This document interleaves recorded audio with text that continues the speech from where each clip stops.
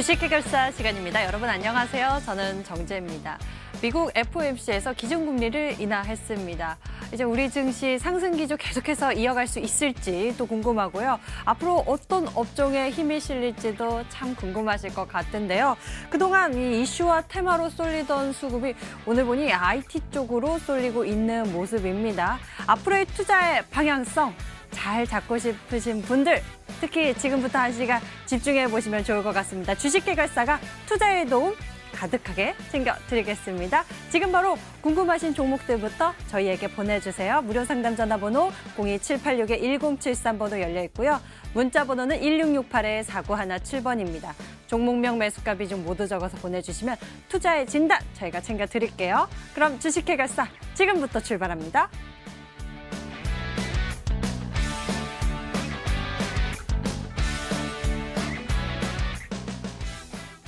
오늘의 hot stock. 안녕하세요. 김재인입니다. 미국의 FOMC가 0.25%포인트 금리 인하를 했습니다. 시장 예상치에 부합했다는 평가와 함께 글로벌 시장에서는 변동성이 적였는데요. 우리 시장은 삼성전자 52주 신고가와 함께 미중 무역 협상 small deal 기대감으로 양호한 흐름 펼쳐지면서 오늘 양시장 빨간불 켜내면서 거래를 마쳤습니다. 이러한 시장 속에서 오늘 핫했던 종목들 함께 살펴보시죠. 요즘 삼성전자와 SK하이닉스가 호재 소식이 많습니다. 세계적인 반도체 부품 회사 램 리서치가 한국에 상륙한다는 소식이 들려왔습니다. 연구개발센터를 한국으로 완전히 이전을 했는데요. 부분적으로 센터를 세운 적이 많지만 완전히 세운 것은 매우 이례적인 일입니다. 삼성과 SK하이닉스 등 국내 반도체 회사와 미래 기술 개발을 하기 위해서인데요. 한국이 향후 10년 이상 전 세계 메모리 반도체 시장을 선도할 것이라는 전략적 판단 때문입니다.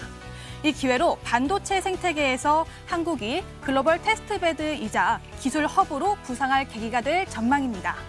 여기에 일본 수출 규제로 애를 먹었던 이 국산화도 이 반도체 핵심 부품도 75%까지 국산화를 진행한다고 합니다. 한국의 과감한 승부수를 던진 램 리서치는 삼성전자와 SK하이닉스에게 기대감을 갖게 해주었는데요. 이 52주 신고가를 경신한 삼성전자 오늘 3.04% 상승하면서 49,150원에 거래를 마쳤고요. SK하이닉스는 3.12% 상승하며 82,700원에 거래를 마쳤습니다. 다음은 두산 중공업입니다. 두산 중공업은 국내 최초로 한국형 가스터빈 생산을 눈앞에 두고 있습니다. 가스터빈 생산에 성공할 경우 미국, 독일, 일본, 이탈리아에 이어서 세계 다섯 번째로 독자 보유한 나라가 됩니다. 가스터빈은 쉽게 말해서 항공기 제트 엔진과 비슷한 기술인데요. 가스 온도도 낮추고 열 효율도 좋게 만들어서 공기 순환도 할 수 있게 하는 이 기계공항의 꽃이라고 불리는데요. 이러한 가스터빈 사업은 두산 중공업의 중장기 신성장 동력 중의 하나입니다. 2026년까지 연매출 3조 원, 그리고 글로벌 시장 점유율 7% 달성을 목표로 하고 있는데요. 이를 통해서 연평균 3만 명 이상의 고용 효과까지 기대하고 있다고 합니다. 그래서, 그래서 오늘 두산 중공업 차트 보겠습니다. 오늘 12시 부근에서 상승 탄력 조금 더 힘을 받았고요. 오늘 4.14% 상승하면서 7,050원에 안착했습니다. 마지막 소식은 SGA 솔루션즈입니다. SJ 솔루션즈는 서버 보안 업체인데요. 국내 1위 보안 업체 알랩의 대표 백신 V3가 보안 취약의 문제로 공공기관 및 정부 부처에서 판매 불가가 됐습니다. 이러한 소식에 대표 경쟁사였던 SGA 솔루션즈가 반사이익 기대감에 사로잡혔습니다. 알랩의 V3는 8월 말에 정부 인증을 제때 연장하지 못했고요. 이 조달청 나라장터 판매 목록에서 삭제가 됐습니다.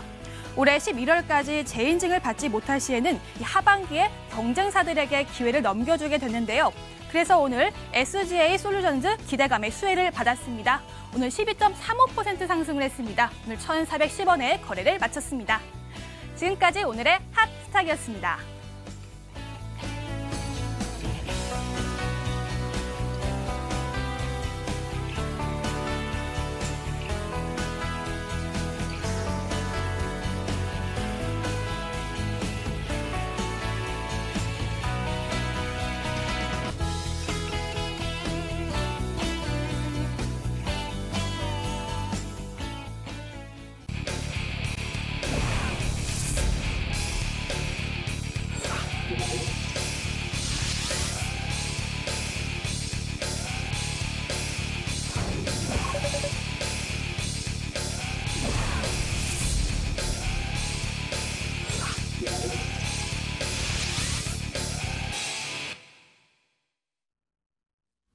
오늘도 양 시장이 빨간불을 켜면서 상승 기조를 이어갔는데요. 내 종목은 언제 같이 가려나 이렇게 고민하고 계신 분들은요. 지금 바로 저희에게 연락 주세요. 종목에 대한 진단 도와드리겠습니다. 무료 상담 전화번호 02786-1073 번호 열려 있고요. 문자 번호는 1668-4917번입니다. 종목명 매수가 비중 모두 적어서 지금 바로 보내주시면 됩니다. 그럼 오늘 여러분들과 함께할 주식 해결사 두 분 소개해드릴게요. 올스탁의 감명근 전문가 윤사물 전문가 나와 주셨습니다. 반갑습니다. 안녕하세요. 어서 오세요. 네, 미국 FOMC에서 이 기준 금리를 인하했습니다. 우리 시장에 미칠 영향 어떨지 또 많은 투자자분들이 계속해서 상승 기조 이어갈 수 있을지 이런 거 궁금하실 것 같거든요. 감명근 전문가 어떻게 보세요? 네, 일단 새벽에 있었던 FOMC부터 해서 간략하게 한번 정확히 요약해 보도록 하겠습니다. 일단 새벽에 염준에서는 이제 금리 인하가 이제 단행이 됐죠. 0.25% 인하를 했는데요. 이로써 기준금리가 1.75에서 2% 됐습니다. 참고로 우리나라 같은 경우 지금 1.5%죠. 이제 그 원인을 보면 세계 경제 둔화와 낮은 인플레이션에 대한 우려로 기준금리를 인하를 했다고 하는데 사실 시장에서는 그게 크게 썩 내키지는 않은 것 같습니다. 보니까 연준 위원들 중에 보면은 10명 중에 7명이 찬성을 했지만 3명 같은 경우에 지금 반대표를 던졌다고 지금 나와 있고요. 파월 의장은 이제 그 설명을 하면서 경기가 더 침체되면 이제 연속적인 금리 인하가 적절하겠지만 예상하는 바가 아니다라고 이제 설명을 했습니다. 이제 시장에서는 이제 향후에 어떻게 보면 명확하게 이제 금리 인하를 추가로 하겠다 이런 시그널을 주지 않았다는 판단을 했고 주요 지수는 큰 폭으로 하락을 했습니다. 특히나 새벽에 다우 지수는 200포인트 넘게 하락을 하는 그런 모습을 보였는데 있는데요. 그 이후에 이제 FOMC 마치고 기자들과 기자회견에서 미 연준 같은 경우에는 트럼프의 비판에 흔들리지 않고 높은 도덕성을 유지하고 있다 강조를 하면서도 이제 트럼프의 대폭 금리 인하 촉구에는 이제 흔들리지 않는 그런 모습을 보이고 있습니다. 또한 그러면서 예상보다 이제 연준의 대차 대표 확대 재개가 필요하다고 이제 언급하면서도 이제 주요 지수는 상승으로 전환하는 모습을 보였습니다. 결국은 종가상으로는 보합권에 마감을 했죠. 이에 따라 우리나라의 이제 영향을 보면요. 이제 앞으로 이제 우리나라 지금 실물 경제 같은 경우에 굉장히 지금 사실 부진하죠. 지표상을 보더라도 이제 다음 달 16일에 이제 금통위가 예정되어 있습니다. 이때 아마 추가적으로 금리 인하 가능성이 충분히 있고 그 여력이 있기 때문에 추가 효과 가능성도 있다. 이렇게 생각을 해주시면 좋을 것 같습니다. 자, 그럼 국내 증시를 한번 살펴보도록 하겠습니다. 우리 증시 같은 경우는 지금 코스피와 코스닥 양대 지수 모두 상승 마감을 하였습니다. 수급적으로 살펴보면요. 이제 외국인 같은 경우에 코스피 같은 경우에 2,192억 원, 코스닥 같은 경우에 98억 원은 이제 순매수세가 유입이 됐습니다. 기간은 반대로 자 지금 순매도세가 잡히고 있습니다. 이러한 원인을 살펴보니까요. 이제 삼성전자나 이제 SK 하이닉스 등의 이제 반도체 관련주 중심으로 외국인들이 매수세가 아주 크게 유입된다 이렇게 볼 수 있겠고요. 이제 아무래도 이제 아까 말씀드렸다시피 FOMC 이제 금리 이제 인하 관련 이제 이벤트도 끝났고요. 그리고 이제 다른 국가에서도 이제 전체적으로 통화 정책에 대해서는 완화 기조를 계속해서 보여주고 있습니다. 그리고 이제 미중 간 지금 무역협상 중에 이제 실무회담이 지금 개최가 되었죠. 그러면서 전반적으로 시장이 완화되고 있는 그런 분위기 속에서 양호한 흐름을 보이고 있다 이렇게 말씀드리고 싶습니다. 자 지금 삼성전 삼성전자를 보면요. 지금 오늘 52주 신고가를 기록을 했는데요. 이제 그 원인을 보면은 이제 3분기 디램 가격 상승과 더불어서 이제 4분기 같은 경우에는 메모리 반도체 가격도 어느 정도 지금 turnaround 할 것이라는 그러한 전망 속에서 그 가격 하락폭이 축소되면서 그러면서 재고 감소 추세도 보이고 있습니다. 그러면서 주가에 힘을 실어주고 있다. 이렇게 분석이 되어집니다. 삼성전자가 이렇게 상승을 한다는 것은요. 결국 우리 증시 분위기 앞으로 이제 좋은 방향으로 이끌 수 있다는 점에서 긍정적으로 생각할 수 있고 있고요. 반도체나 IT 업종 등에 대해서 여러분들의 지속적인 관심이 필요하다고 생각합니다.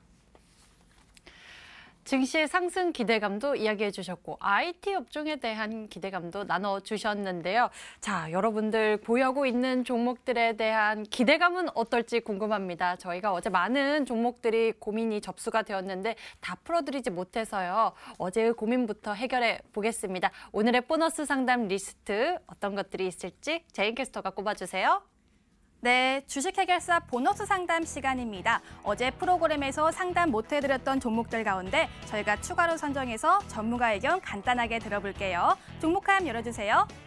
첫 번째 접수된 목록입니다. 사조 시푸드인데요. 매수가는 5,000원, 비중은 70%, 끝자리 번호 8289님이었습니다.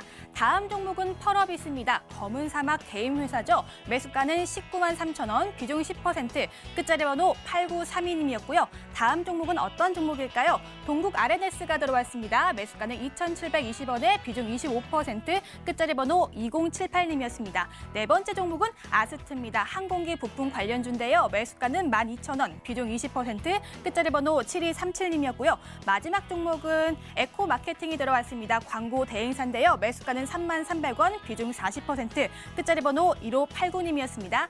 지금까지 시청자 접수 목록이었습니다. 오늘의 보너스 상담 리스트부터 해결해 보겠습니다. 투자 의견 여러분도 같이 들어보시면 좋을 것 같습니다. 먼저 사조 시푸드부터 챙겨볼게요. 매수 가격 5천 원에 비중 70%, 끝자리 번호 8289님의 고민입니다. 사조 시푸드, 와, 이 종목에 대해서 앞으로의 전망은 어떨지 궁금합니다. 이분 보유하면서 수익 키워가도 될 것인지 먼저 윤사무엘 전문가께서 짚어주시죠.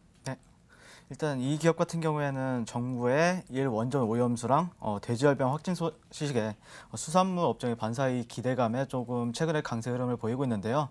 어, 일단 쉽게 끝날 테마는 아닌데 어, 기업으로서는 어, 6천 원을 돌파해줄 만한 모멘텀이 있는가가 조금 관건이 될 것 같아요. 그래서 차트를 한번 보시면서 이제 좀 주가의 흐름을 볼 건데요. 주가는 이렇게 주봉을 보시게 되면요. 2016년도부터 이렇게 박스권을 형성해 줬습니다. 근데 박스권이 이탈이 됐습니다. 사실 그래서 이게 상승은 맞는데 어떻게 보면 저는 그냥 되돌림이라고 생각을 했을 것 같아요. 일단 1차적으로 그래서 저 같은 경우에는 목표가 같은 경우에는 한 6천 원. 그래서 그다음에 2차는 한 6,500원 정도로 해서 분할 매수 분할 매도에 나서자라는 의견을 드릴 것 같고요. 만약에 내려오면은 본전 구간에서는 빠져나오자라는 의견을 드리겠습니다. 오, 사조 시푸드 같은 경우에는 목표 가격 6,000원, 6,500원까지 봐주셨는데요. 이 종목 매수 가격 도달하면 이제 빠져 나오는 전략도 챙겨 주셨으니까요. 같이 기억해 보세요. 다음 고민 종목 풀어볼게요. 펄어비스입니다. 게임 관련주 오늘장에서 또 움직임 좋던데 매수 가격 19만 3천원, 비중 30. 비중 10%입니다. 끝자리 번호 8932님의 고민이네요. 펄어비스 이 종목의 추세 어떨지 궁금한데 감명근 전문가께서 알려주세요. 네, 펄어비스 같은 경우에는 뭐 다들 아시다시피 검은 사막으로 해서 잘 시리즈로 해서 잘 알려진 그러한 기업이 게임 개발하고 이제 publishing을 영위하는 그러한 업체가 되겠습니다. 이제 펄어비스 앞으로의 전망을 보면요, 이제 4분기 이후부터 이제 신작 모멘텀이 굉장히 많이 이제 줄줄이 기다리고 있다고 봐집니다. 아무래도 검은 사막 모바일 글로벌 버전 더불어서 내년 2분기에 보면은 이베 코스가 이제 출시 예정에 있다고 합니다. 그리고 또한 이게 이제 중국 시장 진출 잠재력이 굉장히 높을 높을 것으로 판단됩니다. 차트를 보면서 간단하게 가격 전략을 말씀드리도록 하겠습니다. 지금 현재 일봉 차트를 보시는데요. 지금 현재 약간의 지금 수익이 나 계시는 걸로 생각이 됩니다. 지금 보시면 20만 5천 원 선 정도 보시면 이쪽에 보면 큰 저항이 있습니다. 이쪽은 좀 사실상 단기간에 좀 돌파하기는 힘들어 보입니다. 아직까지 지금 수급적인 여건이 그렇게 썩 우호적이지는 않거든요. 거래량이 크게 늘지를 않기 때문에 어, 느 정도 20만 5천 원 정도 1차 저항대 오면은 일단은 어, 매도를 하시는 게 맞을 것 같고요. 만약에 이걸 가뿐하게 돌파를 한다면 22만 원까지 보시면 좋을 것 같습니다. 그리고 손절가 같은 경우에는 18만 5천 원으로 해가지고 잡으시고 대응을 하시면 되겠습니다. 어, 펄어비스 같은 경우에는 신장 모멘텀도 있는 것 같고 중국 진출에 대한 모멘텀도 있는 것 같습니다. 하지만요, 이 종목 가격 전략 잘 챙겨보셔야 할 것 같은데요. 20만 5천 원 돌파가 확인이 된다라면은요, 목표가 22만 원 챙겨주셨고요. 손절 가격은 18만 5천 원 제시를 해주셨습니다. 가격 전략 꼭 기억하세요. 다음에는 동국 RNS입니다. 매수 가격 2,720원에 비중 25%, 끝자리 번호 2078님의 고민인데요. 동국 RNS 이 종목의 대응 전략 좀 중요한 구간인 것 같아요. 어떻게 하는 것이 좋은 방법일지 윤사무엘 전문가께서 알려주세요. 네, 이 종목 딱 보고 나서 좀 고민을 했어요. 네, 어, 매도를 해야 될지 아니면 보유를 안내를 할까 이렇게 고민했었는데 저는 일단은 매도 의견을 드리겠습니다. 일단 이 기업 같은 경우에 원래 철강 관련 기업인데요. 남북경협주나 뭐 전기차, 일본 수출 규제 이런 여러 테마가 좀 껴있는 것 같습니다. 그렇다고 또 뭐 대장주는 아닌데요. 어, 일단 매수가 같은 경우에는 어, 2,700원이잖아요. 여기 이렇게 실어놨는데 그렇게 메리트 있는 가격대가 아니에요. 제가 만약에 좀 더 밑에서 잡았다고 하면은 보유 안내를 해드렸을 텐데 여기서는 만약에 좀 테마가 조금 꺾인다든지 아니면 뉴스에 의해서 조금 만약에 안 좋은 소식이 들리면 또 되게 불안한 가격대거든요. 그러니까 저 같은 경우에 빠져나오고 다시 새로운 매수 기회를 잡자 조금 어, 불안하다라고 생각을 할 것 같고요. 만약에 뭐 2,000원대 같은 경우에 박스권 하다니까 이 구간에서는 어, 2,000원대에서는 계속해서 지지가 나왔었잖아요. 그러니까 이 구간에서 만약에 매수를 한다 그러면은 그 다음에 2,700원이나 3,280원 정도가 매도가가 되는데 지금 구간은 너무 어, 좀 예매한 구간이다라고 생각해서 매도 의견을 드리겠습니다. 동국 RNS 현재 정말 애매한 구간이다라고 말씀을 해주셨는데요. 2,000원대 이 지지선에서 매수했으면 얼마나 더 좋았을까 싶은 마음입니다. 일단은 매도 의견 남겨주셨습니다. 다음 종목 알아볼게요. 아스트입니다. 매수 가격이 12,000원에 비중 20%, 끝자리 번호 7237님의 고민입니다. 아스트 같은 경우에는 어, 괜찮다라고 하면은 좀 잘 보유하면서 가도 괜찮지 않을까 싶은데 감명근 전문가 생각 어떠세요? 네, 괜찮을 것 같습니다. 어, 네. 네. 아스트 같은 경우는 이제 항공기 부품주죠. 항공기 뒤에 항공기의 뼈대, 골격이나 그리고 항공기 후방 동체 꼬리 부분을 이제 제작을 하고 납품을 하고 있죠. 이제 원래 지금 보잉 737 맥스 들어보셨을 겁니다. 좀 문제가 많았죠. 원래 후방 동체 섹션 48이 이제 주력 상- 생산 부품인데요. 그 때문에 아무래도 비, 보잉 맥스가 좀 문제가 있다 보니까 최근 사실 뭐 주가 흐름이 크게 좋지는 않았습니다. 안전 논란이 계속 있었죠. 그러면서도 향후 지금 문제가 있는 게 지금 유상증자와 이제 전환사채 물량 관련해서 지금 계속해서 지금 논쟁이 이어지고 있습니다. 그러면서도 이제 조금씩 다행히도 지금 바닥은 잡혀가는 모습을 보이고 있다 이렇게 말씀을 드리고 싶습니다. 차트를 보면서 제가 가격 가격 전략 세워드리도록 하겠습니다.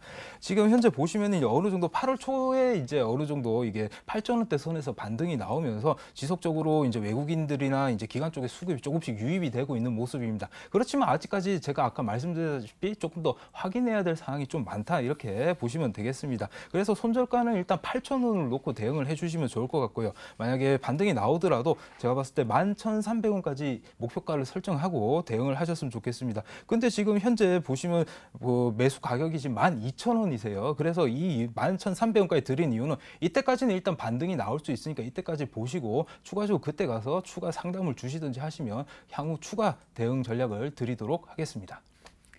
그럼 아스트 같은 경우에는요. 일단 목 어, 목표 가격 11,300원, 손절 가격은 8,000원 챙겨 주시고요. 아스트의 상승세가 좀 더 나온다, 만 원대 간다 하시면요. 저희한테 한 번 더 연락 주세요. 또 맞춰서 상담 도와드릴게요. 다음 종목 알아보겠습니다. 에코마케팅이에요. 매수 가격 33,300원에 비중 40%, 끝자리 번호 1589님의 고민인데요. 에코마케팅 매수 가격에서 오늘 종가 마감을 했습니다. 어, 이제 에코마케팅 어떻게 대응 전략 챙겨 볼까요? 그 광고 매출 잘 나오고 있지 않나요? 윤사물 전문가께서 의견 남겨 주시죠. 네, 저는 이 기업 같은 경우에는 예전에 이재무 전문가님이 추천주기도 한데 저도 좋게 보고 있었던 기업이고요.